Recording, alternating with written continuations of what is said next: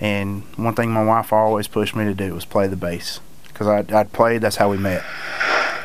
I played timpani in high school, so I kind of had a little bit of a, a bass heart, I guess you could say. I played bass drum in the in the marching band. He went to went to a school in Atlanta for it for a little while. That was absolutely one of the main factors that kept me growing closer to God. And we started going to to our church. I went there and I started talking to the worship minister, and eventually they got me plugged in, and I started playing. That opened up a door for me to start playing for youth ministry. I got to meet this one kid that uh, he come to me and said, "Man," he said, "I've been cutting." I was like, "Wow."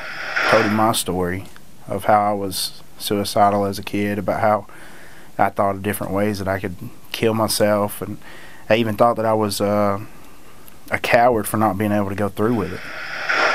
But uh, kind of full circle, there was a, a young lady in our our uh, community that committed suicide, and this kid that I was talking to, this kid that I was witness to, ministering to, and was reaching out and telling his story about how he used to be suicidal and now he's he's give his life around. He plays in the band with me at church, and I'll catch myself staring down at my hands because I feel like that that I'm watching myself play to the true audience, which is God.